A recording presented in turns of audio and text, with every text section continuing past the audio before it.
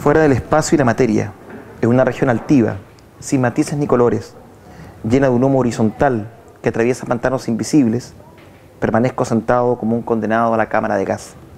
En la sala contigo golpea una mujer embarazada, las flores del amor y la justicia que serán más adelante sobre las cenizas de todas las dictaduras de la tierra. Con tristeza recita los versos de su fallecido amigo Aristóteles España, el escritor Oscar Barrientos.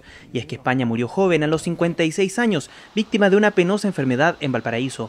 Entre sus aplaudidas obras está el poema Más allá de la tortura, que forma parte del trabajo Dawson, publicado en 1985 y que recuerda su juvenil paso por el campo de concentración del estrecho de Magallanes. Fue un poeta que yo conocí desde que yo era adolescente.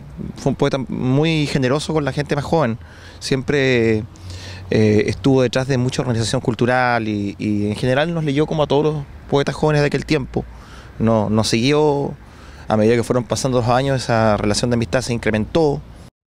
Nacido en Castro, España estudió en el Instituto Argentino por los Derechos del Hombre y se formó en comunicaciones y guion cinematográfico.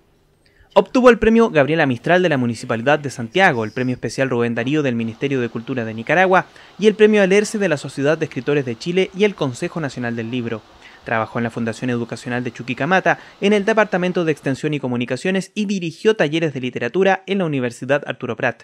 Colaboró con la Universidad de Magallanes dirigiendo talleres literarios, publicando antologías, revistas y haciendo recitales, activando de ese modo el mundo literario estudiantil. Conectó también la poesía magallánica con el resto de Chile.